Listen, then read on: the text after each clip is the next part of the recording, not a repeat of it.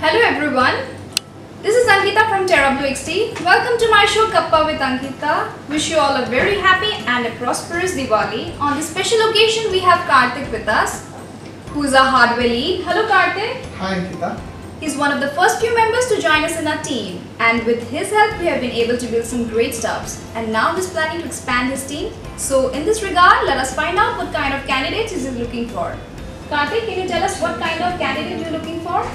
Uh, the important qualities from the candidates are like uh, he should be passionate, uh, he should be enthusiastic towards the work, and he should be um, research oriented guy.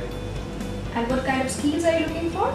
The technical skills like uh, he should be hands-on experience with C, C++, um, and he should have a great control over the microcontroller architecture, and he should have a good knowledge on uh, wireless communications like BLE, Wi-Fi. So, how many candidates you have selected so far Till now, uh, we have selected around uh, 5 to 10 people, and rejected?